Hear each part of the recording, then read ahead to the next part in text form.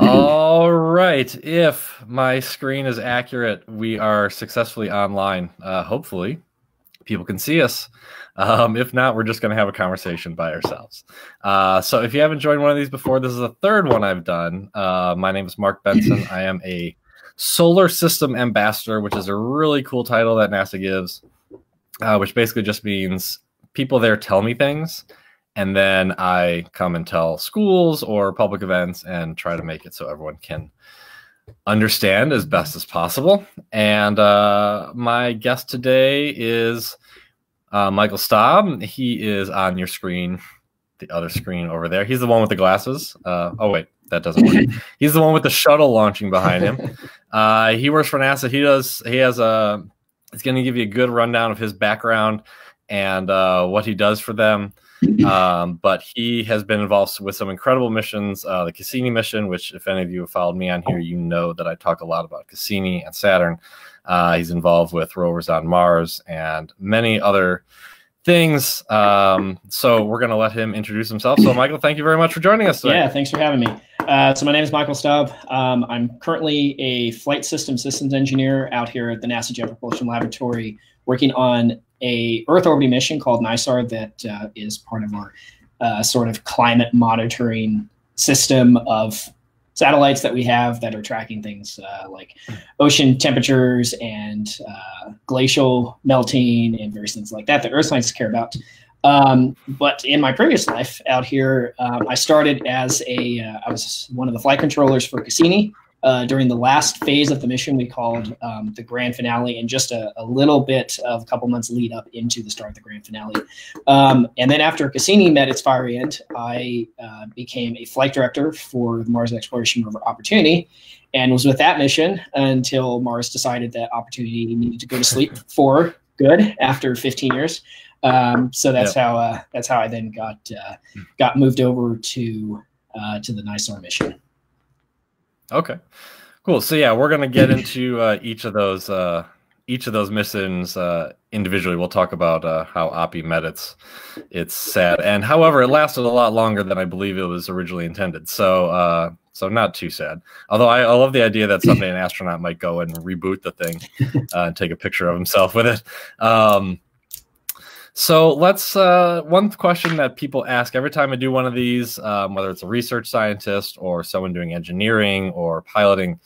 Um, one of the questions that always comes in, and certainly came in this time, was um, a little bit about your background, how you got interested in this type of work in the first place. Was it something you did, you've always known as a kid you want to be involved in this? Did it happen later? What maybe spurred you? And then a little bit about your educational background, what you studied, um, people want to know how do I get to be doing a job like you. So uh, so let's let us know how you got started. um, so my parents would always say that I had a fascination with space when I was young. Um, although I'll say that the sort of the I had kind of two defining moments uh, when I was a kid that kind of kind of steered me towards like what I'm doing now and and why I love it so much. Um, the first was uh, July 4th, 1997. Um, I was seven, seven. I was seven at the time. Um, and was it seven? No, I would have been eight. Math I would have been eight. yeah, right. math, basic math is hard for engineers. You know, we do calculus, yeah. differential equations, things like that. Yeah, yeah, arithmetic. Basic math yeah. is difficult. Um, so I was eight, and July fourth of 1997, um, Independence Day, also happened to be the landing of the Pathfinder mission. So Pathfinder was a sort of a, a pretty high risk mission that NASA JPL decided to to undertake as part of Dan Goldin, who was the NASA administrator at the time, his sort of faster, better, cheaper approach. And this was and uh, this was a, a way to sort of do tech demonstration for mobility systems for rovers on the surface of Mars, as well as prove that NASA, which hadn't landed anything on the surface of Mars in 21 years, that we could still do it and we could do it cheaply and we could do it well. Um, so I was at my grandparents' house and we had CNN up and they were broadcasting this live from Mission Control at JPL and was watching this yeah. and was just like, wow, that's so cool. You're seeing images of something that's 300 million miles away landing on the surface of Mars and you're watching it in real time. And I remember that watching the engineers who were working that that that in that in mission control, I was like, that is the coolest thing I've ever seen in my life. And at that point, it Yeah. pretty much was like, I want to build spacecraft. I want to build spacecraft that go to Mars and go to other planets. Um, it's kind of neat that uh, I've actually gotten to work with several of those engineers who were the leaders on the Pathfinder mission here at JPL. Uh, Rob Manning, uh, Jen Trosper, Tracy Drain, a lot of the people who were part of the uh, the development team for Pathfinder, who then went on to design the MER rovers and then went on to design MSL and then Mars 2020. Um, had a chance to work with those people, so I think it was it was really neat that as a kid I got to watch that, and then it's like now I actually work with these people. Um, so the Yeah. second uh, the the second um, part that kind of got me into this um, was I think it was October, I think it was Oct- October 27th, October 28th of 1998. Um, there was a, a guy named John Glenn who got launched on the space shuttle. And um, uh, my elementary, elementary school class, uh, we went to the library to watch his launch. And I'd never seen a space shuttle launch before. I, um, I remember watching the landing of Pathfinder, and I really got interested in the space stuff then. But I hadn't seen a space shuttle Yeah. launch before. And you know, we're sitting there watching this little tiny TV, and we're, we we see the space shuttle. We see the uh, the main engines go off, and then we see the rocket boosters, the the SRB slide, and Yeah. the thing just takes off. And you know, you're seeing the videos from inside. And like, that is the coolest thing I've ever seen. And at that point, I was like, okay, I'm going to build spacecraft that fly to other planets, and then I want to be Yeah. an astronaut. I want to go fly on the thing and actually go do the real cool stuff up in space and on orbit. And uh, you know, since since John Glenn's gone up, you know, we've we've had the International Space Station has been in orbit, occupied for over 20 consecutive years. That's that's incredible. There's some people, Right. there's some some high Yeah. schoolers on the planet who have never known a time when there hasn't been a human being who's been living in space. That's so space cool. Yeah. Um, Yeah. So yeah, those those two moments kind of really defined, um, you know, wanting to be an engineer, wanting to work in the space industry, wanted to you know pursue the uh, the ability maybe someday to become an astronaut. It's it's very competitive. There's a lot of really great people who apply. Like you look at the class of people who apply, and it's just like any one of those people would be incredible ambassadors and incredible astronauts, and they all would do a great Right. job. So. Um, we just had a, a new application that, that closed uh, just about a month ago. Um, so you know it's about a year and a half process before we find out. So um, you know if i got selected it would be an amazing opportunity. But if i don't you know I, there's still so many cool things you can do in the space Right. industry whether it's for nasa or whether it's for the uh, whether it's for uh, commercial space or whether it's for um, uh, for the department of defense. Um, so my background uh, educational background so i'm an aerospace engineer so i'm a formerly trained rocket scientist by trade. Um, I got a bachelor's degree in aerospace engineering from Wichita State University. So I grew up in Wichita, Kansas, which is the air capital of the world. Lots of airplanes. Um, I'll make a, a little pitch here. There's a, an incredible museum in Hutchinson, Kansas, which is about an hour drive to the northwest of Wichita, Kansas. And this place has the largest collection of U.S. space memorabilia, be it spacecraft or rockets or, or spacesuits, outside of the Smithsonian. Yeah. And it has the largest collection of Okay. Soviet era space hardware outside of Moscow. It is an incredible place. I went there for space camp. I was a space camp counselor there. I took lots of school trips up to the Cosmosphere. So I had a lot of um, I had a lot of inspiration when I was growing up uh, around space and things that got me really interested in it. Um, so back to it, I went. Uh, I have a bachelor's degree in aerospace engineering from Wichita State. Um, go Shockers! um, I have a master's degree in aerospace engineering from the Georgia Institute of Technology, and I am uh, currently in a PhD program here at the University of Southern California in Los Angeles, studying astronautical engineering. So specifically space engineering. okay. That that's a lot of, and so still doing school. Yeah, still would, doing uh, school. I imagine, yeah. Uh, so I just uh, so we're going to talk about some of the things in a little bit. We're going to talk we're, again. We're going to get to a lot of these in a, in a row here. We're going to talk about some of the astronaut stuff a little bit later. I just saw that one of my friends jumped on here, and uh, she would she she I think she wants to be an astronaut. So uh, she's trying to figure out if someone who's 37 and works as a librarian can be an astronaut. And I, I think I think so. Why not? Um, but I'm glad uh, she's here. Um, so we're going to talk about. Uh, oh, before we get, we're going to talk about Cassini first. So we're going to kind of warm that one up. But um, are you able to do a lot of your work now from home? Um, the vast majority of us, yes. Um, there are Okay. a couple teams, and, and the one that really is the one that can't work from home is Mars 2020. Um, the Perseverance rover, that mission is within three months, so within 90 days of Yep. launch. So those that team is down at the Cape. They're getting the, the rest of the rover integrated and stacked in the in the uh, in the launch uh, capsule. So we have the entry capsule. So they're stacking everything together. They're filling it up with propellant. They're closing out the the last of the sort of the verification and validation activities that we have to do.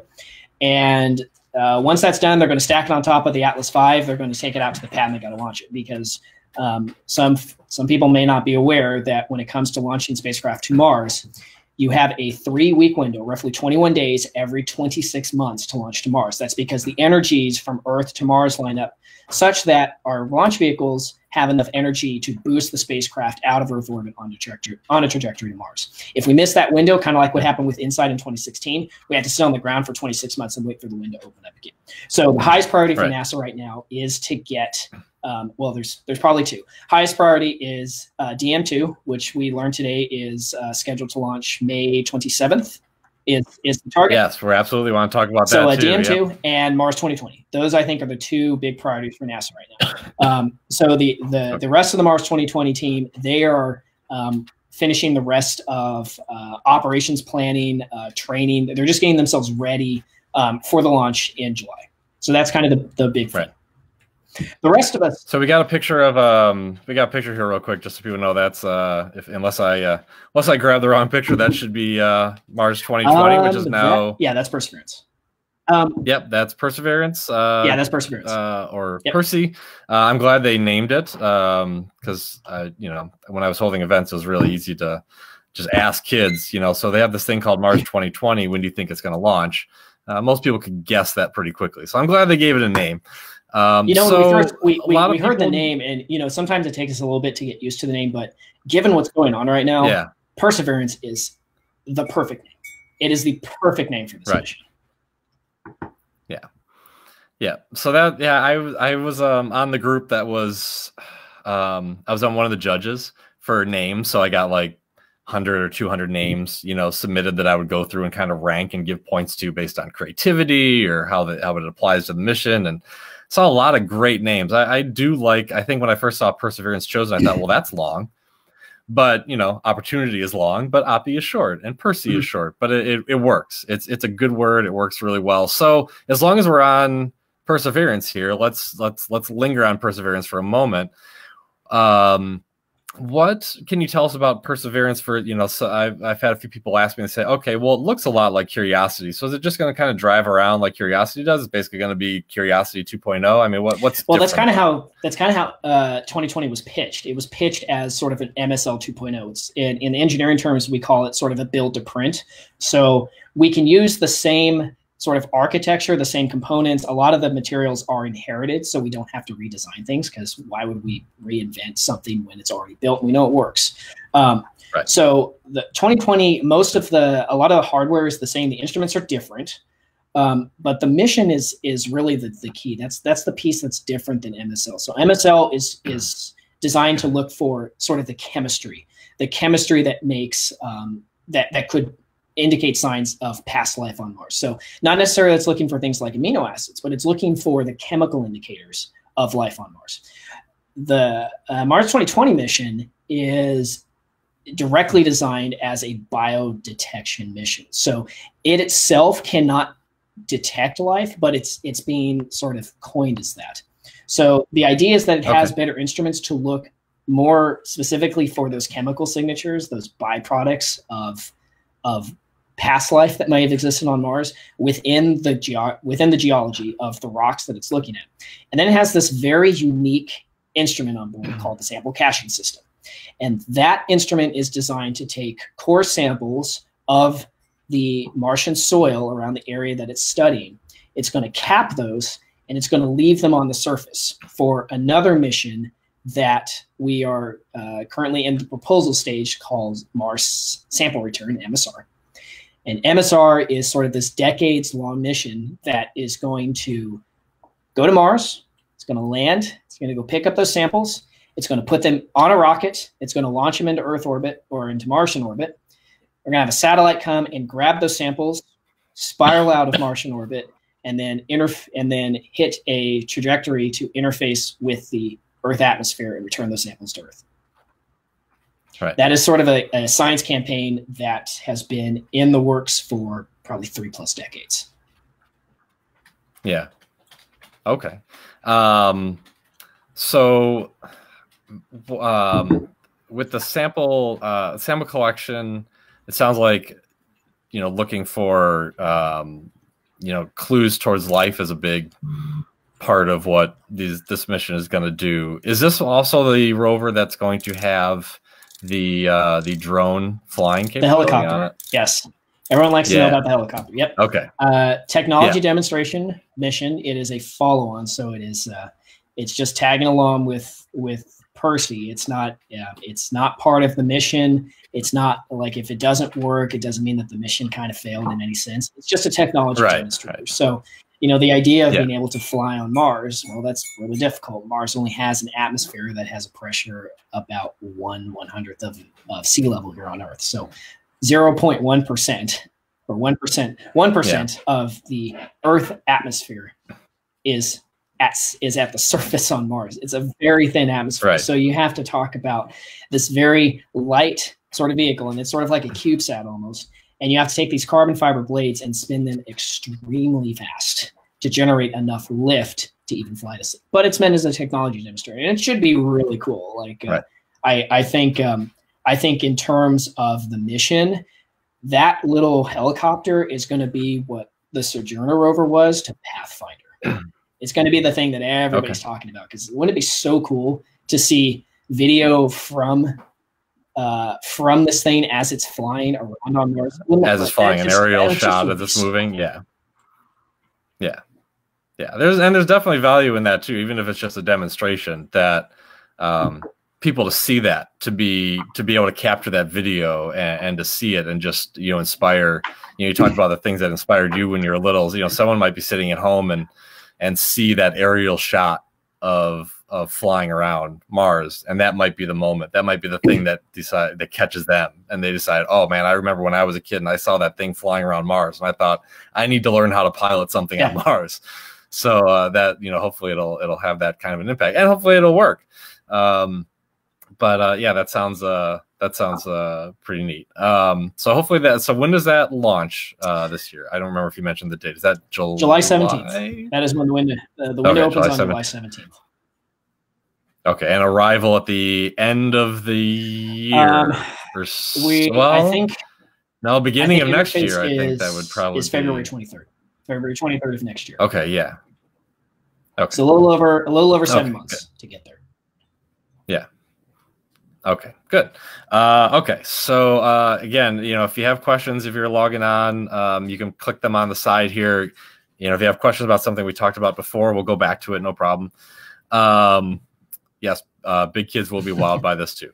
Uh, I was just earlier today. I was watching videos of the um, uh, SpaceX um, boosters uh, landing side by side on a platform. I've watched it about hundred times, but it still kind of it throws me every time I every time I see it. Um, It- It throws it. so yes, big kids can get wild too. wild too because um, we when we take a controls class in engineering school, you know, we we uh, one of the things they, they make you you learn is is the inverted pendulum problem. And an inverted pendulum is a naturally unstable system and it's very hard to control. And that's exactly what SpaceX went with. They went with the the the most difficult controls problem to start with, but they perfected it. They got over time, they figured Yeah. out the aerodynamics, they got the gains right to the point that now when you watch it, it's like, oh, it didn't land. That's now the odd part, not that it worked correctly. Yeah, yeah. Yeah. And as long as we're on that topic here, we uh, part of the reason why I was watching it today is because that. Um, uh, correct me if I get any of the details wrong here. Uh, and I don't know if, if people were watching the news today managed to find some space news stuck in the middle of all the other bad news going on. But uh, May 27th, uh, so a month and a week and a half or so from now, um, the first launch of American astronauts from American soil on an American craft since 2011. 2011, uh, July, I think, of 2011, when the shuttle Atlantis went up and essentially came down a few days later, a week later, um, and ended the shuttle program. And uh, everyone who's gone up since then has gone up Yep. from overseas. Um, so May 27th, if you didn't hear that today earlier, May 27th is when the Falcon 9 is going to launch Crew Dragon from SpaceX from Cape Canaveral. Um, pad 39A, I believe, for those who are really into the Cape. The old, Um, very historic pad pad. Yep, old Apollo pad. Yep. So uh, American astronauts are going to go up. I didn't. I, I had heard that this is it was going to be a simple launch with two on board. Is Two. it two on board this time, or is it Two. they add a third? Yeah, okay, so, two on um, board. I believe they're going to the space station and then coming Um, home. I believe Is that going to the space station and then coming back shortly. They're not part of the expedition crew. But yeah, very, good.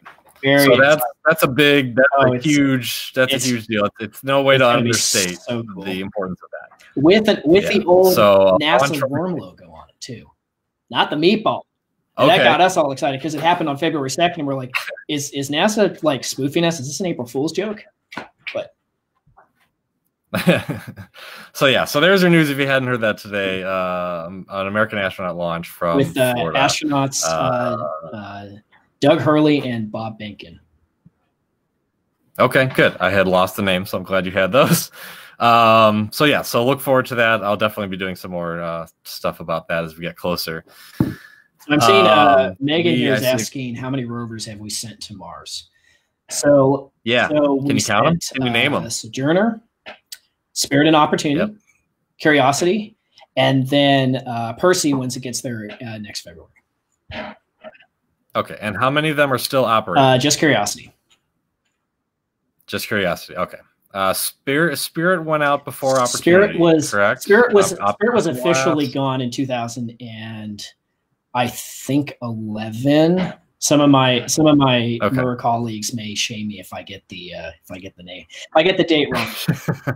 oh, I'm sure Um, they wouldn't. Curiosity, that, no. uh, opportunity. We officially concluded mission in 2019, but um, likely we think that the rover was gone in the early days after the storm hit in 2018.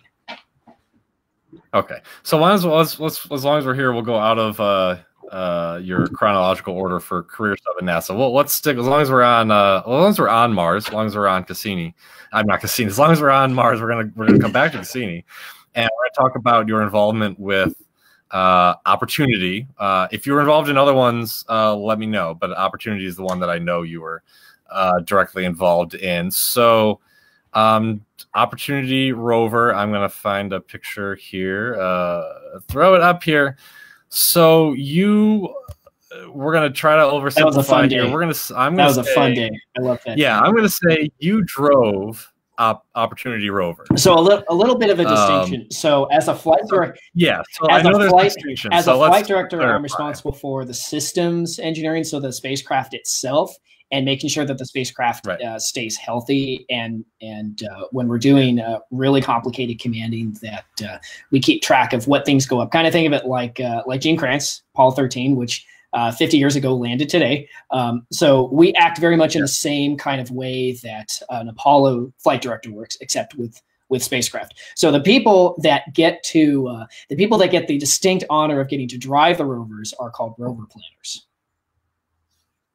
Okay. So I never got to drive Opportunity, but I got to still do a lot of cool things with it.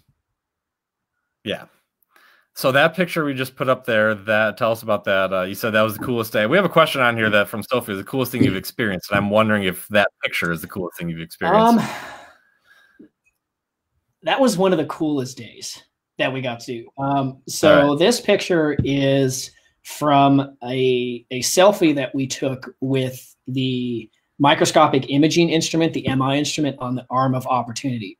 Um, so we were trying to think of some really cool sort of social media sort of outreach kind of things we could do with the rover to celebrate 5,000 days for a mission that was only supposed to last 90 days on the surface.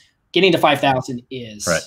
was an incredible feat. So we're like, what is something we haven't done yet that could really like get the public interest in this mission again? And we thought, well, we had a uh, uh, one of the the camera operators on MER long before he ever came to JPL. His name's Doug Ellison.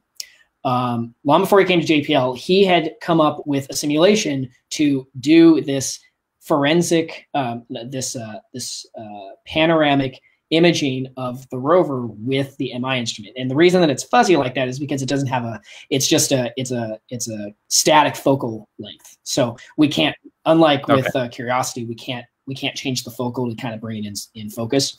Um, so he he came up yeah. with a simulation long before he came to JPL, and on the day of planning, we had had pitched this idea of well, it's Sol 5000. Why don't we take this this mosaic of the rover because no one had ever seen opportunity on Mars. We'd always seen Mars from opportunity, right. but we never actually seen opportunity on Mars. So we thought, well, why don't we give it a shot? Right. And we we built the sequence. Uh, I know that, that I had a, a, ton of fun. I know that most of the team had a had a had a blast doing this. um, and we're sitting around the next day waiting for the data to come in. And as it starts, as the data starts flowing down from the Mars Reconnaissance Orbiter, um, our ground tools start putting this thing together, and we just start seeing this image show up, and we're like, holy crap, that's opportunity. That's amazing. Like yeah. you, you, plan it, you simulate it, but yeah. you're like, holy crap, it worked. And it's so cool. yeah. So that definitely yeah. was one of the, the highlights. It was definitely a, a very, very fun day um, in my career. And then also this this image uh, was another thing we did for Sol 5000. We took a sunrise image on Opportunity's 5,000th day, um, 5,000th day on, on the surface of Mars, which is just really incredible. That yeah. probably yeah, those are some of my favorite pictures. Just seeing this, the, the seeing the you know seeing the. I love. I mean, the selfies. I mean, Curiosity's gotten very good at that. That you know, sort of taking a selfie. That opportunity, you know, did that you guys got opportunity to do. Um, but I love seeing these panoramic shots with sunsets or sunrises because if you looked at them quickly, if you just saw them picture on your phone and your Twitter feed or in your Instagram, you might not realize you're looking at a different planet. And I love the idea that you, could almost scroll past it and go, "Oh, that's a sunrise picture." Oh, that's wait, that's a sunrise from picture Mars. from another planet. Yeah. Yeah, yeah. So that day was a lot of fun. I think my favorite experience at JPL was the first proximal ring, ring plane crossing for Cassini because I was the flight controller. Um, I was the first person who saw the data come back from Cassini that said she was she was fine and she had made it through that first ring plane crossing. That was so cool. Okay. Yeah. Yeah. Yeah, we're gonna yeah definitely uh definitely gonna get to uh, Cassini here, but yeah, I'm glad we could. I think that was Sophie's question, so I'm glad we could cover that. Um, so moving a rover on Mars is not going to be like playing Mario Kart at home. It's not going to be like driving your own car. Um, you're not staring at a screen and hitting the gas pedal putting out a signal to make sure you don't bump into another rover uh, when you make a left turn. Um, what are you seeing if you're sitting there controlling a rover? If you're sitting there running this mission, what are you seeing on your screen? What is the experience of drive, quote unquote, driving a rover from that many million miles away? Like, what does yeah, that so it's like? it's to your point. Yes, it's not like uh, Mario Kart where you just push the stick forward and you go. Um, just with the time lag between Earth and Mars being as high as sometimes 20 minutes and as short as three minutes, um, you know, you, you push the yeah. stick to go forward and you wait three minutes. The spacecraft um, gets that signal, it moves forward, and then you have to wait another three minutes to see that it did the thing you wanted to do.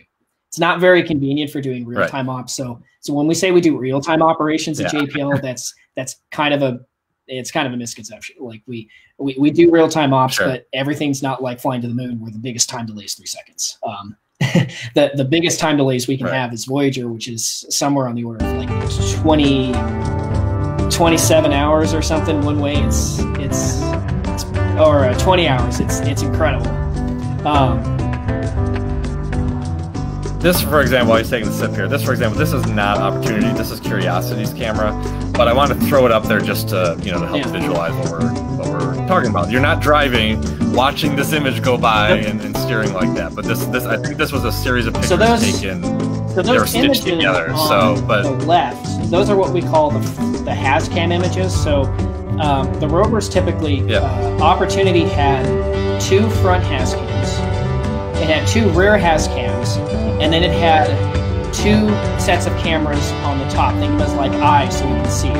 One of those are, navi- are, are navigation cameras, the other one are panoramic cameras.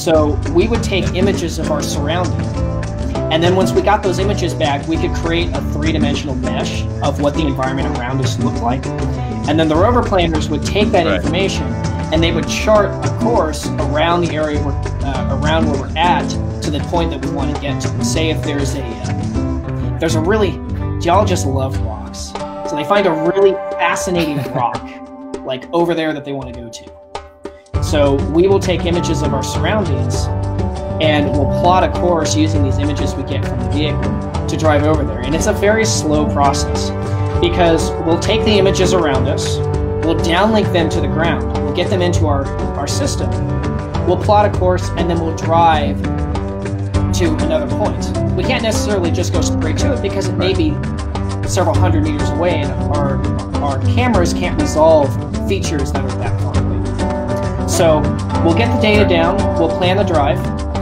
and we'll drive to this next point. Now, once we get to that next point, what do we have to do? We have to take pictures. So we take more pictures, we get more surroundings of the area, but the geologists may think, oh, there's something really cool here I want to look at. So we're going to stop and spend a couple days there. We're to um, we're to get some we're to collect some science in this area, and then we're to plan our next drive. At the same time, we have to conserve battery power. So sometimes, you know, a drive eats up a lot of our battery power, and we have to spend a couple days here recharging our batteries doing uh, contact science and remote science before we can drive to the next point. So for, for opportunity, it could take us sometimes, um, in the case of moving from um, Endeavour Crater, not Endeavour, um, Victoria Crater to Endeavour Crater, I think it took four and a half years to make that drive. It, it was a long, it was a long drive, and there wasn't really a lot there. It was just basically sand dunes. It was this very slow four and a half year drive out there, but um, we ended up getting to a really amazing, uh, very scientifically rich site in this, this crater in Endeavour, which was our uh, what ended up being our final resting, uh, the final point where the rover stopped. Yeah. I'm gonna remove that from there. Okay, let me uh, see. I know some people had other questions about uh, maneuvering rovers, so let me. Uh, um, even just the more basic one how did you get involved in opportunity how did how do you get picked for a mission like that what was it that uh, that was able to um, so this is around the time cassini was was ending and i was looking for my next uh, sort of home afterwards and uh, um, kind of at jpl we just um, we just kind of use our our what we call our group supervisors or our direct managers to just kind of kind of feel out what other projects are needing help and what kind of support they need and and you know um, yeah uh, I have, you know, I have a background in engineering, so I have that that engineering, that brain, that mindset. So I, I understand how to look at a system and how to solve problems like that. Um, so going from Cassini right. to Opportunity as a flight director, they had um they had an opening, they had a need, um, and you know, I I thought when I watched Opportunity land, one of the things I thought was, wow, wouldn't it be so cool to work on something like that? It's too bad it's going to be gone in three months. It's too bad it's gonna yeah. And you know, then I show up and and you know, I was yeah. told, oh, there, there's this opening for uh, for a systems engineer and a flight director on opportunity. It's like that thing's still going. Wasn't the thing supposed to die like you know a decade ago? Yeah, it's still going. Um, and they, they had an opportunity, and you know, it just turned out it was a uh, it was just a great opportunity, huh? Opportunity, huh? Um, and you know yes. it, it, got me a chance to be uh, uh, not only get get my hands wet with uh, with systems engineering, actual like hardcore rigorous systems engineering at the lab, but also gave me a chance to um, you know be a flight director. That was one of the other sort of my my bucket list goals. Yeah. Working for NASA was I wanted to be a flight controller, I wanted to fly a spacecraft, and I wanted to be a flight director, and I I now got to do that. Yeah. Yeah. Um, so I was watching. Uh, let me. Uh, see, I, I, can't remember if I had another picture of this or if I put up all the Oppy pictures. I think I may have put up all the Oppy pictures. We're going to um, we're going to talk about. Um, let me double check that there aren't any other uh, questions jumping in on the side. Make sure we got we covered the lag time. We talked about the lag time for communicating to Mars. Good, so we got that. Um, okay, uh, so we have I'm going to put up this picture, and then this is going to be our intro to talking about Cassini. Hmm. um, so you gave me this picture. Um, you don't think of NASA as having an Emmy, Um, that's not usually if you decide you want to. If what you really want in life is an Emmy, you don't you know become a rocket scientist and, and go work for NASA. That's not usually the straight path. Um, but that's our introduction to the Cassini mission. Uh, you're holding an Emmy, which NASA won for its. Uh, I mean, you can describe it better, but basically, its presentation of the conclusion of the Cassini mission one of, Saturn. One of the coolest things I tell fun. people is that I am an Emmy winner and I have the certificate to prove it. Um. So this this was an Emmy that that NASA uh, that JPL uh, specifically the communications office won for uh, a, a, category called interactive programming. So over the span of about nine months, from December uh, I believe it was December 20th was the first uh, F ring plane crossing. So that was the start of the grand finale, up through the final plunge into uh, into Saturn on September 15th of 2017. We had this. They had developed this very very large social media presence. Uh, between the articles that they wrote and yeah. uh, the social media presence during the first proximal ring plane crossing and all the interact all the interactive media that they created, um, they were in a category with with people like uh, Disney and uh, Marvel movies and all this all these really like big you know uh, entertainment entertainment companies with these big blockbuster movies that had come out the year before and who know NASA uh, a NASA mission ended up winning because we brought the excitement of Cassini mission to the masses. It was incredible. Yeah. Yeah. Um, so let me get rid of this. We're gonna put up uh, so people have a basic understanding of uh, of Cassini. Uh, if you again, if you've been involved with any of my events, you've definitely seen me talk about um, talk about Cassini. I was uh, not not um, educated and skilled enough to work at JPL. I did have the lucky chance to get selected with a group of people to go visit JPL and get a special couple day pass when the Cassini mission was coming to an end in, I think, believe that was September, uh, kind of the end of September 2017. Um, so I got to see the end of it um, right, uh, right there in, uh, in Pasadena. Um, actually, we we noticed the other day. Uh, strangely enough, I actually didn't know him at the time, but I actually took a picture of Michael um, in Mission Control um, doing his work. Um, didn't really didn't know him at the time, but I uh, but uh, I came you know within a few feet of meeting him uh, a couple years earlier. Um, so Cassini went to Cassini took what seven years to fly to Saturn, and then it spent about thirteen or so um, studying the Saturn system. That's an artist illustration of Cassini there, well, approaching its end yep. as it's really approaching Saturn. Um, but that gives you an, a little bit of an impression of what that uh, what that spacecraft um, looked like. Uh, so that's a very long mission for those who were involved from the beginning. People like Julie Webster, um, who were involved from the start. I mean, that's it's you know that's the better part of a of a career, uh, twenty plus years building, flying, managing uh, a project like that. Um, so a little bit. Uh, so the basic idea behind Cassini was to study Saturn, uh, study the Saturn system, had a lot of really cool discoveries in especially finding some of the moons uh, that had some interesting things going on uh, on a previous video a couple weeks ago if you were watching. I had morgan cable on here uh, who is a research scientist out there um, who was searching for life and we're talking a lot about the moon enceladus which has these these these plumes that uh, that has underwater oceans um, and titan is a very interesting surface um, so there's a lot of interesting stuff in the system that Cassini helped rewrite textbooks on. Most of what we know about Saturn, I think it's safe to say, comes from Cassini uh, at this point. Um, a lot of research papers probably being written as we speak about um, what Cassini uh, did and didn't find. That'll continue to um, happen probably the so next in, 30 years. And that'll continue. Yeah, that's yeah, that's a lot. Um, so in a similar vein to um, you know, controlling a rover, um, not being like Mario Kart, um, flying Cassini around Saturn is not going to be like uh, aircraft you would have gotten in and piloted. Um, so, what is it like to be flying Cassini, significantly farther away than we talk about this delay of you know maybe up to 20 sec uh, 20 uh 20 minutes from uh, Mars. Um, talk about the delay to Saturn. Um, what is it like to pilot? Is it pilot a spacecraft like this? I mean, is it is it just a whole lot of math coming in? You're just staring at numbers to control. Well, I think like it was this? the coolest job I ever had. It's so much fun. Okay, it would have been my so much coolest job that I've. It's Um, the coolest job so I've yeah, never had. when- yeah. when you're flying the spacecraft, uh, particularly what we're looking at is just data as it comes in.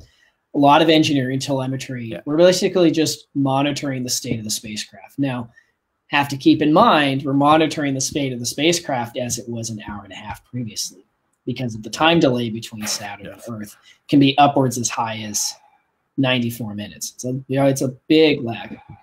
Um, but we also do you know commanding. We also send uh, because of how far cassini is away from earth um, our mission operations team would build what we call background sequences these long sort of eight to ten week sequences of, of tasks that the spacecraft would execute autonomously on board uh, for those eight to ten weeks um, we would send that's uh, those kind of files up there the other kinds of things. Um, i would send commands actually sending commands to the spacecraft. I was one of, only four people in the world who could send commands to that spacecraft.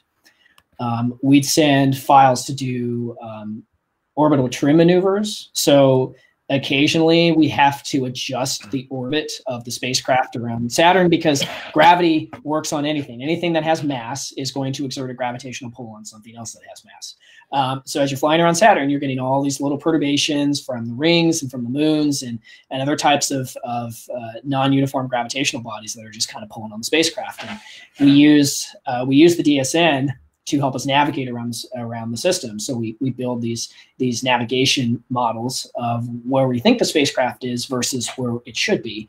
And we would build these uh, these orbital trim maneuver files to just slightly adjust. Uh, sometimes it was as low as a couple tenths of a meter per second. Sometimes it was high as uh, 10 meters per second. We'd burn the uh, propellant on the spacecraft, and we use that to adjust the adjust the trajectory of the spacecraft to get back on where it should be. Yeah. So we, I just threw up a couple pictures here. I, they're somewhat self-explanatory, uh, but this is the mission control at a Jet Propulsion Laboratory in Pasadena. Uh, that is Michael in his at his uh, station, which I suppose it's man, it's really sad to think about it, but it, even not really being involved, just visiting. But that sign there that says Cassini Mission Ace, that's probably not there Um, anymore. It's not at that Is it console. It's there at my anymore? desk. Okay, well, that's a decent enough. That's Yeah, a decent enough souvenir. Um, that's pretty Yeah. good. So the one on the uh, Um, the picture on the yeah. left there, that's from the first F ring uh, crossing. So the F ring is the outermost ring of Okay. uh, Saturn's ring system. Um, so that was the first time we got close. We, we made a really close approach to the F ring. It was the closest we gotten to the ring system, I think, since insertion. So it's been a long time. Um, Okay. And then that one on the right is from the first proximal ring plane crossing. That's when we went, we uh, shot the gap between Saturn's atmosphere and the edge of the A ring going very fast. very fast. Yes. So that would be what when when people talk about Cassini's grand finale, they're talking they're not just talking about its actual end. They're talking about its its series of passes be, in the space between uh, the rings and and the planet itself. Uh, A bunch of dives uh, in there, and which you know extremely dangerous maneuver in that no one knows what's in in that space. Uh, any little particle at that speed. You just talked about the incredible speeds are going. A very small particle at that speed um, could you know drill a hole right through your Anything the spacecraft size going through, and then then your grand finale comes a You know, little we- comes a little we talk about the than, energy particles is half the mass times the square of the velocity. Well, that means that anything uh, the size of a grain of sand moving at 70,000 miles per hour relative has a wallop of energy. And that was one of the things we were most concerned about was Yeah. Um, this these tiny little grain particles in the rings just smacking right through the middle of the spacecraft and taking out our, our avionics or any other type of system that we need, and the spacecraft would, would go kaput. Right. Now when you make a maneuver like this and you know the I mean you're you you know it's not overstating it to say that you're gonna you could get data back that says your mission just Well, the data would you know the, the, that the data any moment that could come in over is we get- so You again noted. You get that flat line, that very sad flat the- line signal that we'll, we're going to talk about in a minute. That genius of- what we saw. But uh, what is that like in the room? How tense is that when you're just? I mean, is like we show that picture of you just kind of standing there looking up. But I mean, is do people just are people just pacing Oh. when there's something like that going on? What is it I- like in the room with the humans, I not think just that the the, machines? the flight team was pretty nervous. I was I was calm. I was like, it's it's gonna be fine. It's gonna be fine. The the the uh, All the statistical analysis uh, we had done on the, the hazards of like what was the likelihood we get hit by something that could destroy it was was very low, was super low. So, and, and then when we went through the Yeah. gap, it turns out that um, that space between it was actually emptier than what our initial guesses were. So yeah, um, that first pass was a little tense because we'd never been through that going those velocities, and and there was you know there was a likelihood we could get hit by something that take the spacecraft out. That's why on the first plunge we went um, radar dish um, uh, towards the direction of flight. So radar dish nadir. Um, we used it as kind of a as a shield, as a battering ram, just in case you know there was something Okay. uh, we you know the just the likelihood that you know we just we use the uh, we use the antenna as a as a shield to take most of the brunt of it, so that it doesn't take out the the very sensitive electronics Right.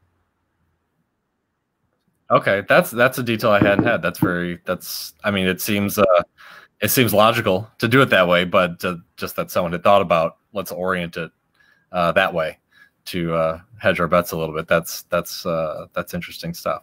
Uh, so after those dives uh, between the rings, then the mission was to end the spacecraft. Um, Cassini was ended on purpose. Um, uh, so why don't you talk a little bit about how, the decision to end uh, the spacecraft, why that came about, and then um, the very dramatic way you decided to dispose of. Um, so those decisions were decided while I was in college, so I just got to see the end result of it, which is really cool. Okay. Um, but as uh, as Dr. Cable mentioned a couple weeks ago on your show, um, one of the things we had to do was we had to preserve the bio. Um, I always forget this word. We had to preserve the basically the uh, the moons of Enceladus and Titan from being infected with any potential bacteria we might have brought with us from uh, from Earth, because there is strong evidence to Right. suggest that there could be something really interesting going on at those moons biologically, and we certainly don't want to take our Yeah. germs with us, land on you know inadvertently crash into Enceladus, come back 30 years later with a mission, and say, "Oh look, we found life." And then because Yeah. Cassini hit it, you can't you can't distinguish between whether life was there to begin with or whether it, it was brought there by Cassini. You just you can't distinguish. between- So in order to, to Right. keep the those places um, biologically sterile from our own uh, bacteria, we had to dispose of the spacecraft, or we had to either dispose of it or we had to get it out of the Saturn system. One of the things, one of the concepts uh, the mission design team had looked at was to use a series of Titan flybys to throw Cassini out of Saturn's gravity on a very long 40 year, I think a 30 or 40 year cruise to Neptune or something like that. That was one of the things they had considered. Um, but what they ended up coming with from a scientific perspective, you know, if you're going to, if you need to get rid of the spacecraft and you got to go out in a blaze of glory, you might as well do something scientifically very rich. Yeah. So the concept that uh, the mission design team came up with, and it was absolutely brilliant orbital design, was they used the uh, gravity of Titan to slowly move Cassini's orbit so that it would pass between the gap of Saturn's atmosphere and that A ring. And it would do this 22 times over the course of, let's see, April, May, June, July, September, over the course of about six months. And naturally, the spacecraft would fall into Saturn's atmosphere by Titan without our intervention of any kind. Is a beautiful design. So okay. that first proximal ring plane crossing, Yeah. if we didn't hear anything, we, you know, it'd be sad because the mission was over, but we would know that the spacecraft would go into Saturn's atmosphere without our intervention. Beautiful design. Um, Right. But it's it's a good thing that it didn't die on that first pass because we learned so much about um, the ring system, about the gravity of Saturn, the actual like the interior distribution of mass within Saturn, things that we could never learn before because we couldn't get there. So we Right. uh, to to dispose of the spacecraft because we were running out of fuel. the the science team went with the option to do this really cool uh, design with the proximal orbits to get us in between that gap. We went and shot through it 22 times, and on the 23rd time, we got a little pull from Titan on that last one that pulled our our periapsis point, our closest approach to the planet, into the planet itself, so that we would dive in, we hit the top of the atmosphere, and just uh, aerodynamic forces by itself would shred the spacecraft. Right, and this all happened at um, this all happened at because uh, the, the solar system doesn't operate on a nine to five. Um, this went down somewhere around what three or four in the morning, I think, um, Pacific time is Our, when the data um, came in. I mean, it would have died an hour. The last, earlier, the last telemetry packet we got from the spacecraft was time stamped at 4:53:46 a.m. Pacific time. Okay, so uh, when you know talking again about what this kind of looks like, when I was the room that I again lucky enough to be out there, the room that I was in was basically a media room. And we had some you know uh, we had some of the mission people in that room with us uh, wearing those purple those purple cassini shirts. Um, and up on the screen we were staring at a signal and it would look like any i don't i, I should have included an example of it here and so i could up put it up here but um, or my cell phone video of it but um, it was just a signal with a spike in the middle um, and that spike just kind of started dipping and then it would bounce back up again, and everyone in the room would cheer, and then it would dip, and then it would get quiet, and then it went back up again, and people would cheer. And I remember when that signal finally went down and stayed down, uh, meaning that it was that you had you had heard the last that you're going to hear from it. The room went incredibly silent, and all you could tell, all you could, all I could hear was one person way behind me just whisper the word "bye," and it, and it was kind of stunning to see just know that it was just over um, just like that and what is that i mean that it was it became a very emotional room all of a sudden uh, with the mission scientists who were in that room uh, with me when i was kind of watching over to how they were reacting to it um, at the same time you, you're talking about a spacecraft that did everything it was built to do and more. Uh, incredible by every definition, incredibly successful mission. And it's the ship that you've been flying and babying for a long period of time. Some people 20 plus years, um, just gone. It's completely gone. It's not going to land anywhere. It's not going to come home. It's not going to it's not you know it's not oppie where the battery went dead and maybe someday someone will see it again if they land on mars or something like that it's it's gone. It's completely gone. What is that? Happy, sad, both? What um, what is that? You know, space exploration comes with the drama of it is both highs and lows.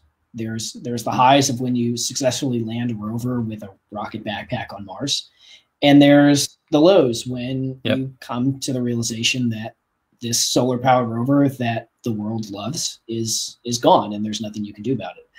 It's the same thing with with Cassini. Um, I think there was a mixture of, of, of joy because we had successfully guided this mission for 20 years to its end. And as you as you mentioned, uh, one of Julie's Julie Webster's very very famous uh, quotes that I that I just always remember from that from that morning was uh, the spacecraft did everything we asked her to do right to the very end.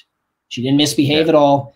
Um, there's there's a little bit there's an instrument that decided to you know misbehave a little bit that last night, but um, you know we, we we got her all the way to the end and everything just worked spectacularly and it just went off flawlessly and that's because of all the work that happens in the background. I think for a lot of the team, it was yeah. you know like you said, uh, some people have been on this mission for 30 years. I mean we we literally had had seen uh, yeah. you know uh, engineers when they started on this, you know they they had they had families and we had birthday parties with the Cassini group. And then we'd see their kids grow up and go to high school and go to college. And then they would get married and then they would have kids. You know, it's, you talk about a family. It, it a lot is right. that Cassini and a lot of these, these missions that last for a long time, you kind of feel like it's a, it's a family. It's, it's, you know, a lot of people with this shared yeah. experience of flying the spacecraft around another planet. And, it's not a big community that's going. I mean, it's a big. There's a lot of people at JPL, obviously, but in terms of you know sitting at that desk, piloting that spacecraft, being on that flight team, that there aren't a. You're not going to end up at a a restaurant somewhere and just bump mm-hmm. into someone who did that too. It's a it's a tight knit group, I would think, that can relate. And I think, uh, at least for me, and, and probably with a, a, lot of the other flight team members, it was it was the fact that knowing when we came into work on Monday, there would be no new pictures, no new no new images, no new data. The yeah. what we got was that was it. Those were the last images. We weren't going to get anything new. Yeah. And those were the last images we were going to see yeah. of Saturn from that perspective for another 20, 30 years. Yeah. I think about that when I use my uh, telescope uh, looking out in Saturn. It's one of my favorite, uh, uh, Saturn and Jupiter, two of my favorite, probably my two favorite targets to look at. And I think of that when I'm looking at this gorgeous view of Saturn and I'm thinking, well, I wish I had a Cassini picture. I wish I had a new Cassini picture because it's a little better than what I'm getting right here through my telescope. It's nice through my own eye, but um, uh, it, it is weird to think that there isn't another mm-hmm. data dump coming from from Cassini. You got spoiled by uh, by the pictures uh, that it was providing. Um, let me uh, see. I'm trying to see if I threw up that last. Uh, I want to make sure I included a bunch of pictures. Uh, yeah, here, just real quick. This uh, this uh, on the screen here. That's uh, Michael uh, at his station as well. I took this picture of him without knowing who he was at the time, uh, but I included this picture just uh, just because I, I, not uh what's funny about it is uh, that I'm doing exactly what everyone on the other side of the table is doing, which they're all just leaning in, taking pictures, uh, wondering what it's like to to control this. So uh, so I want to include that. Uh, wanted to throw that picture up there just because it's mine, just because I took that one. That that's my own my own picture from being in the room. Uh, I haven't it's been the coolest job I've ever had so far. Maybe there'll be another. Maybe there'll be another cool job like that. Yeah. down the road someday. There'll be there'll be another one, I'm sure. So um, let me. I'm gonna look at glancing at my phone here because on my phone I have a list of some other questions. I want to make sure I get to other questions people um, asked about. Um, one uh, one question someone had was. Um, you know, if you got you you you've been on Mars with a rover and you've been around the Saturn system with Cassini, um, if you got to pick a mission, he said, "You know what? I really wish we would spend our money on. I really wish we would send a spacecraft here. I really wish we would go investigate that. Or I personally really want to go fly there or drive there. What what type of mission do you hope um, comes, or is, is, it already in the planning stages? Are you lucky enough that it's actually being? Um, the mission together? I would love to see funded is a flagship type mission that Cassini was, that goes to Enceladus and goes into orbit around Enceladus and land something on those southern at the south pole where those vents are, where we can actually touch that ocean and see what's going on down there. Go for a swim. In, ter- Go for some. Morgan and I were talking about finding um, enceladolphins. In, in terms of in terms there, of so places where we may have the best chance to find life in our solar system. Yeah. It's, it's, it's the coolest spot in the solar system. It's That's got an ocean spraying out into space. It's literally telling us something really cool is going on here. Come look, come look here. And one of the amazing things about it is that um, I think there's always this perception that, well, I mean, NASA has all this great tools and we've got these amazing telescopes and we've got all this cool stuff out there. I'm, I'm sure we kind of knew about all this stuff before, and then maybe we get closer and we get a better look. Enceladus was giving off, if I'm trying to remember a little bit from what I've learned, I, it was giving us some reason to believe there might be something interesting there. But the idea of these plumes, the pictures that were coming in, um, caught people off guard, at least to the extent the science, that the science was team was happening. The science team was, totally a surprise. Yep, truly a discovery. Yeah, truly a there discovery. Were, it was. It's like it, you flew to Saturn. and go, oh yeah, look, it has rings. Well, we knew that. We didn't know Enceladus had little pieces of information on, over the span of ten years of observations that were telling the science team that something really interesting was going on there. Which is why Enceladus got more follow-up study in the extended missions uh, for Cassini is Enceladus needs more follow-up study because there's yeah. something really interesting going on there. Yeah, yeah.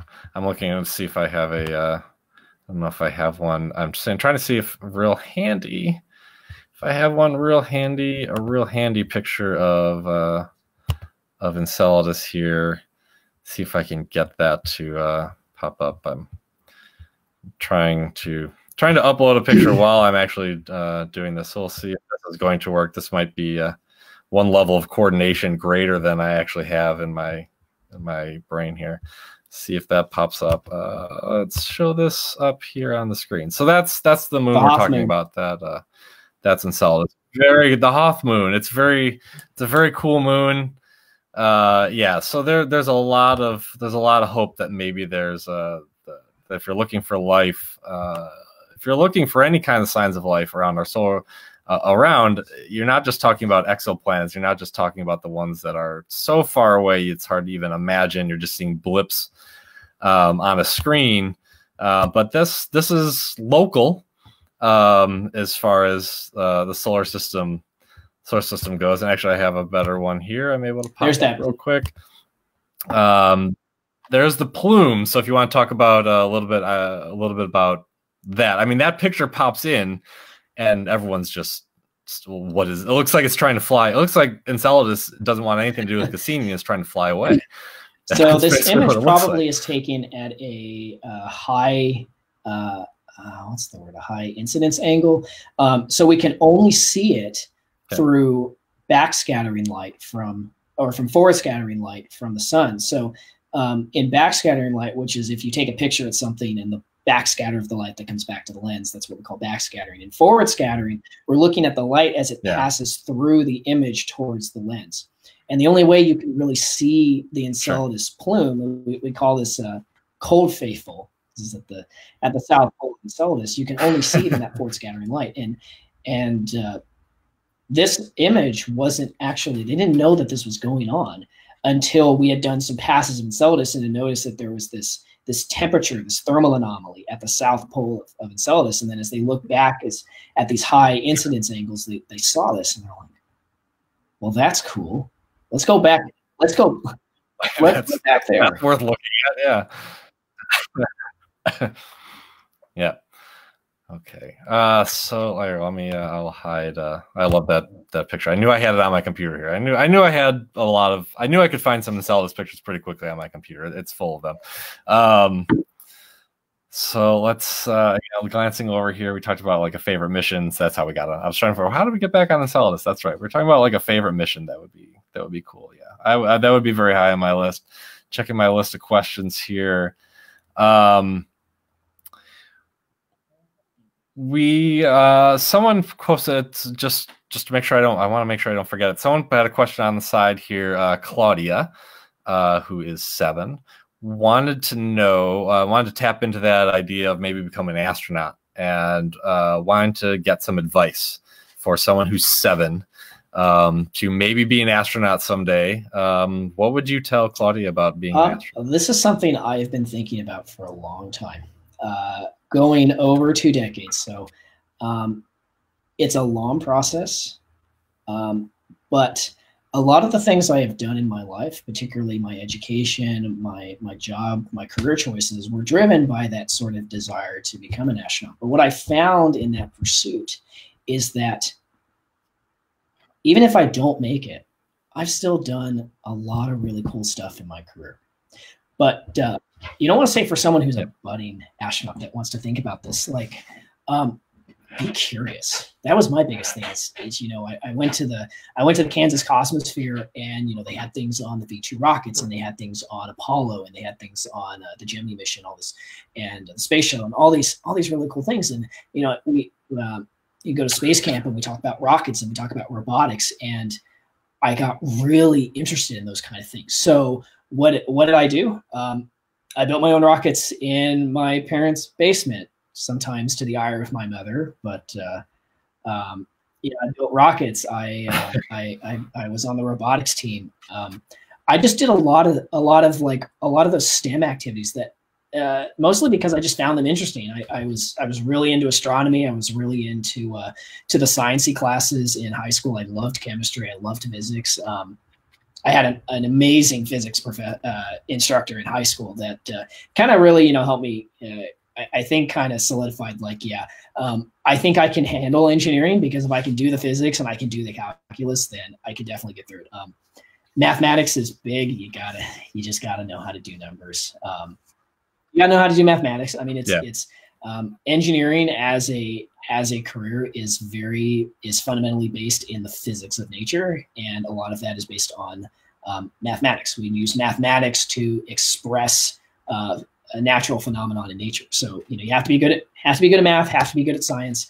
Um, but just just be curious like and and go with it. Have fun.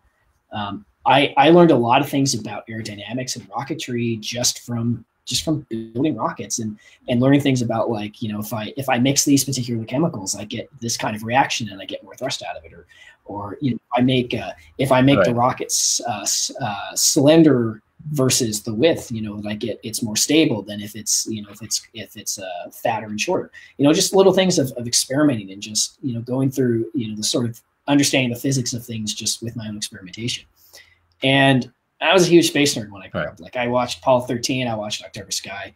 Um, you can probably see the you, you see the picture. You see oh, the picture on that. Like, uh, oh yeah, we, yeah, October Sky. I'm glad you mentioned October Sky. That's a yeah. And the, I, you know the biggest thing is, is just don't give up. It's a long it's a long process. Um, but you know even if you don't make it, there's still so many amazing amazingly cool things you can do in the space industry that contribute to to space exploration, whether it's you know flying a spacecraft around Saturn or operating a rover on Mars or you know. Uh, Pretty good consolation prize yeah. if you didn't end up becoming an astronaut. That part of you getting you there was to fly yeah. around Saturn and and yeah, work on I mean, Mars it's, rovers. Yeah, it's, it's still a very rewarding career. Yeah, and uh, I, even just um, you know, you're talking about just being curious and doing simple things. I mean, even just the, I mean, there's a million things you can do, but even just the uh, the basic building paper airplanes and figuring mm-hmm. out which ones are going to fly farther and um, using stomp rockets and, and, pushing, playing around with the angles at which you hit and the force at which you hit. Th- that's going to tell you things. It's that are going to lead to something else. I mean, it's simple, simple things. When you're seven and you're working on stuff, just yeah, just yeah. just try things, play. Uh, give it a go. See what's fun. See where you learn something. See what was interesting. Follow something to the next. Follow one thing for, to the next. For, uh, for budding NASA astronauts, people that want to apply to the NASA astronaut program, um, the the requirements you, you have to have a degree in STEM. So whether it's engineering, uh, a science, um, mathematics, um, a medical degree, something of that kind. Um, the new requirement now is a master's degree, which was a bit different than a lot of the previous application cycles. It was just a bachelor's degree was the minimum requirement. They um, headquarters you know, bumped up the requirements to a master's degree, um, and the requirement is just two years of experience beyond your uh, beyond your master's degree, two years of qualifying experience. Um, so okay. you know you can do it in anything. I mean. Uh, NASA has they have test pilots, they have engineers, they have uh, doctors, they have biologists, they have chemists as astronauts. So, you know, when, when you're talking about going yeah. to Mars on a long-term mission, you know, what you're looking for is, you know, a well-rounded crew that knows a lot of different things and can contribute wholly to that right. mission. So, um, you know, whoever they pick in this next cycle, uh, the second ge- Artemis generation class, they're going to be amazing people and they're going to contribute they're going to do incredible things yeah. for human space exploration by definition. By definition, by by by resume, by resume alone, be, these are going to be, be the most amazing people. And NASA is is going to have an incredible group of people to lead that that next charge into back into deep space to the towards the moon and then you know back to Mars. Yeah, yeah. And for you know so i um i, I always uh when i was a kid i certainly dreamed of being an astronaut and then i had this thing um where i was just i get horribly motion sick at just anything. I stare at my phone too long i get motion sick. I'd be a horrible person to be at. You wouldn't want to fly anywhere with me uh to another place. But you know so if you're if you're a kid and you want to study these things study these things figure out what you really like get into it. Um you know uh, we talked we briefly talked about winning you know NASA winning an Emmy for its work. Uh, clearly, if you don't feel like being an astronaut, if you don't have the astrophysics, there's people at NASA who are doing communications. There's people at NASA who are just studying uh, uh, and getting messages like this out. They're literally winning Emmys for their work. NASA can take. Looking NASA's for the best looking for the best If you have a Um, passion for the work, so, so you you're a passion. yeah, if you have the passion the go for it. that we do, you know, there's a place for you. We have we have graphic designers, we have graphic artists, we have uh, we have videographers, we have photographers, we have uh, writers, we have all sorts of people that that work here. We have social media specialists that Yeah. manage our our, our mission sites Yeah. to keep people engaged and you know show them what the what the mission is doing, what the crew and what the team's doing, and it's yeah, there's there's there's lots of space for people to work at NASA, even if you aren't an engineer. Yeah, or there's lots. Right. Uh, oh, real quick, I just noticed it popped up. Um, the name of that museum the in Kansas, Cosmosphere you and Space talking about. Www.cosmo.org. They're currently shut down right now because of uh, coronavirus, but um, Sure. it, it is it is truly a gem of the state of Kansas. Um, I'm going to make a plug. I'm from Kansas, so um, it's it's it's a gem. I mean, there is there are some absolutely fascinating things. Um, one of the things I got to do uh, two years ago was I was invited as part of a panelist for the Apollo 8 50th anniversary, and you know the Cosmosphere is so well known that Okay. they they were able to get uh, Jim Bridenstine, the NASA administrator, came in, Jim Lovell, Fred Haise, um, Glenn, uh, Glynn Lunney, um, uh, Charlie Duke, Moonwalkers, Apollo astronauts, just all these amazing people that they can just bring in. It's because the Cosmosphere just is it's just there. You wouldn't think of it in the middle of the middle of Hutchinson, Kansas, and but it's there, and it's it's Yeah. just an incredible place to go to. I've been to a whole bunch. I've been lucky enough to go to a whole lot of events um, with Jim Lovell um, and managed to not meet him any of the times that I've been at those events. I have a really good streak going now of how many times I can manage to not meet Jim Lovell.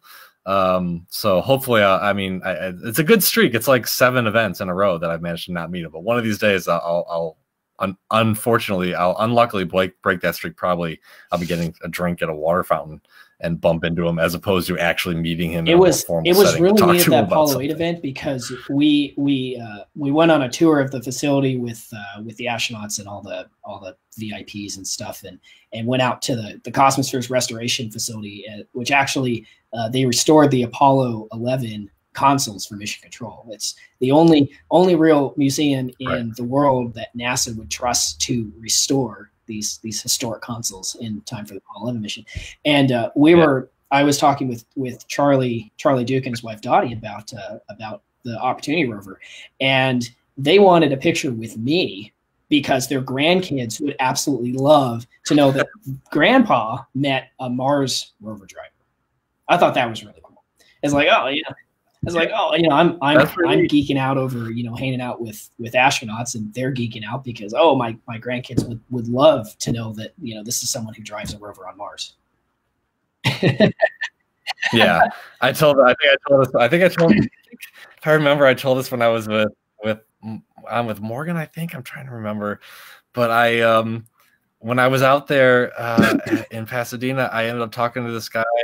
Uh, I didn't know who he was. His name tag on his lapel was like turned around backwards, and I so I couldn't see what his name was. We really, literally, just ended up standing in the same corner of the room at the same time and I kind of didn't know anyone there, and I didn't know who to talk to. And this guy just started a conversation with me. He asked me why I was there, what I was doing, where I was from.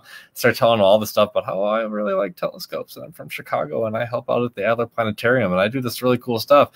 What do you do? And I realized I was talking to Charles Elachi, uh, Malachi, who was whose name is literally on mission control, and I had no idea who I was who I was talking to, and I got a great picture with him, but it's um it's funny to uh, that that he seemed thrilled that someone from Chicago who likes telescopes was out in Pasadena to talk about Cassini when I just about fell over at Mhm. when I realized who I was who I was talking. And I think it's just uh, passion begets passion.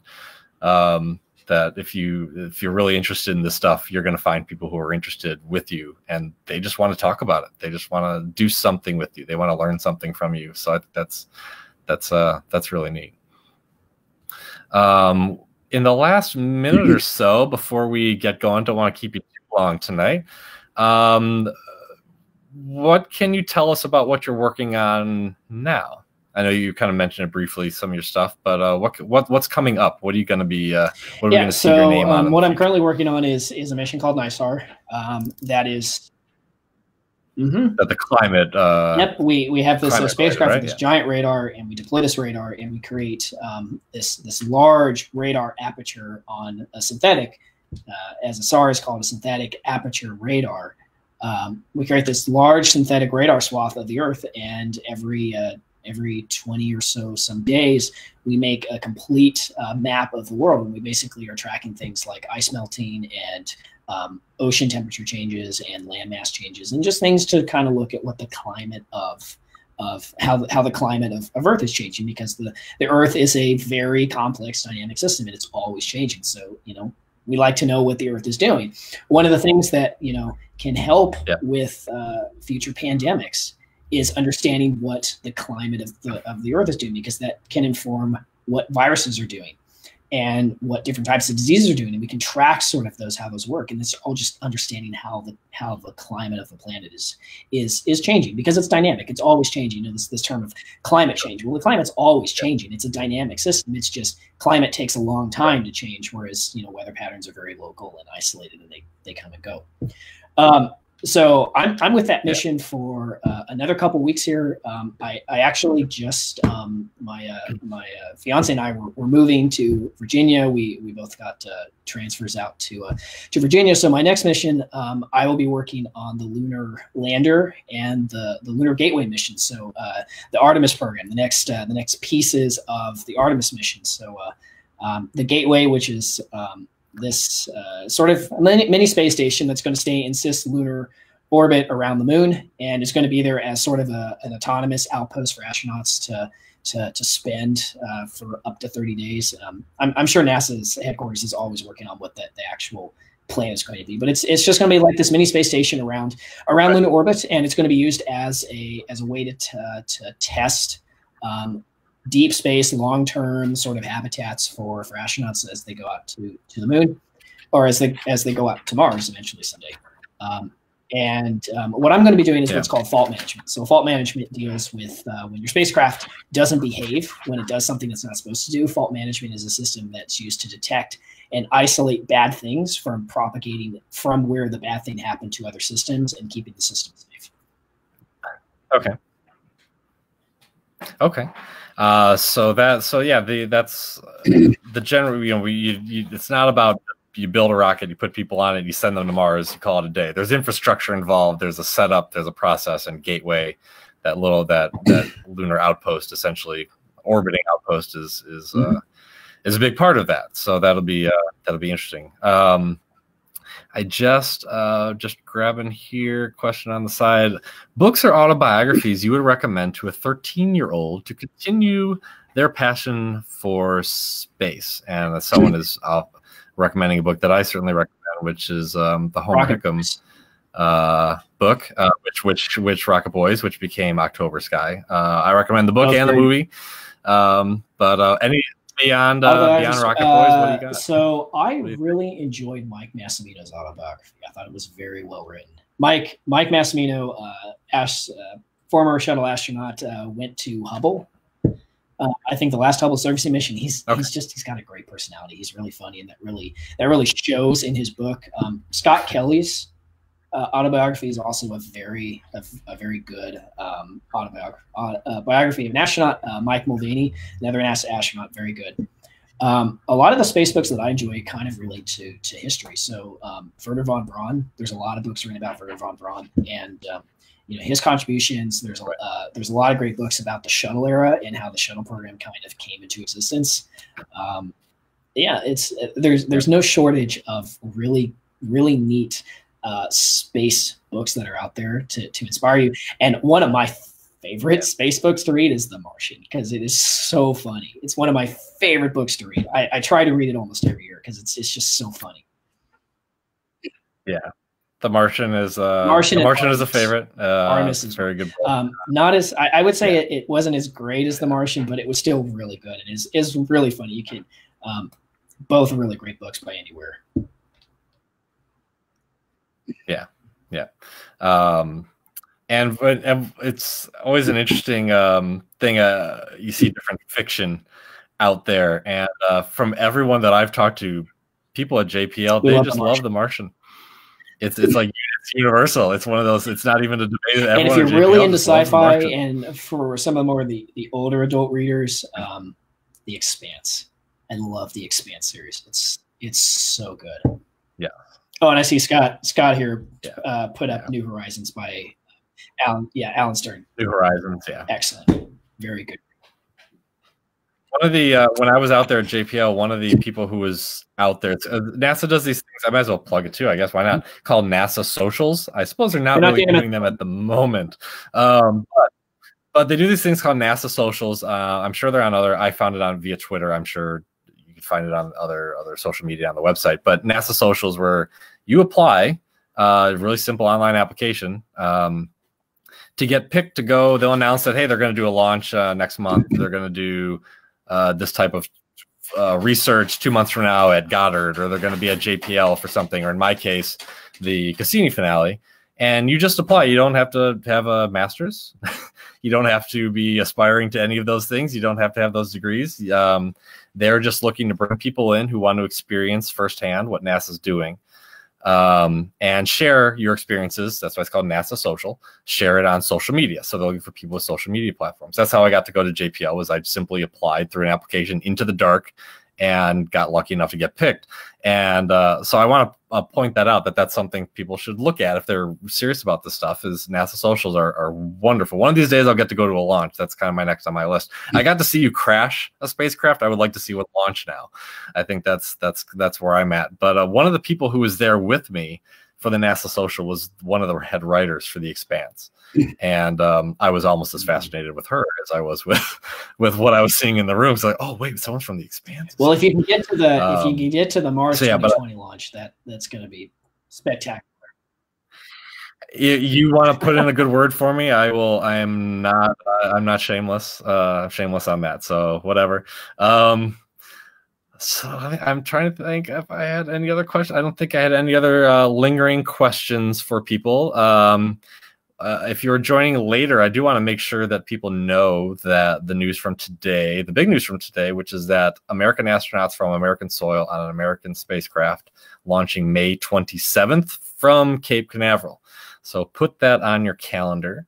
Uh, you're going to want to uh, you're going to want to check that out. Um, and your your kids, depending on how old they are, um, have have if they've seen a shuttle launch, it was on tape or what we used to call tape. Um, so uh, from 39A. So uh, it, it's something to experience. You're going to want to uh, tune in for that. Um, I will certainly be holding some sort of event. I don't know if people will be doing gatherings at that point or not, whether I'll be able to hold an event and have people around for a watch party. But uh, if you follow my social media at all, keep an eye out because I definitely will be doing something around that launch. Um, one other little piece of business if you enjoy this kind of stuff and if you enjoy telescope stuff next friday i have once again i'm bringing back the director of public observing for the adler planetarium to talk all about telescopes we talked about telescopes last week but we're going to get into the more details of building them putting them together what pieces do what so if you if you're enjoying watching these types of things keep an eye on my facebook and other social media next friday same time same place i'll be talking with her um, and I think uh, I think that is everything. Thank you so much for taking. You took almost an hour and a half of your evening uh, out there, uh, Michael. So thank you so much for spending yeah, uh, no so much time for us. I really appreciate it. All right. Well, cool. Well, thanks everyone for joining in watching. Uh, the other reminder is that if you didn't see this, if you know someone who would be interested in this particular video, um, or you missed part of it, the moment that I cut this off, it uploads right to my Facebook page. The whole video will be there. You can go back and watch it. Also, if you give me maybe an hour or so to, you know, have dinner, which I haven't had, um, I will upload it onto my YouTube channel, my very, very, very small one subscriber YouTube channel. Um, but you can, uh, the video will be found there if you're not a Facebook person and you're looking for someone who just wants to find it on YouTube. Um, so I will have it there, but keep your eye out. We will have more of these as long as we're all stuck inside. Might as well talk to people here. So thank you so much again for uh, for watching and thank you for joining us here. And uh, that is uh, the end of our end of our thing. Uh, as I try to you know remember which button to hit that actually ends our thing. But um, pop this up. And thank you very much, everybody.